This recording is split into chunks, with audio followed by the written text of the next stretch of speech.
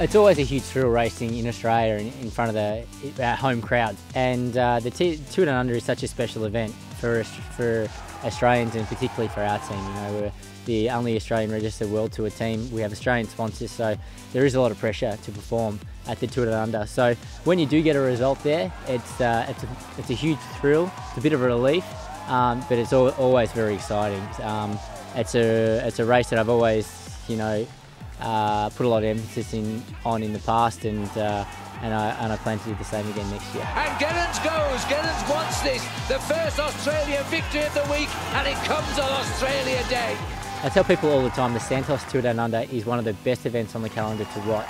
Um, there's so few races where you have the opportunity to get so up close and personal with the with the riders.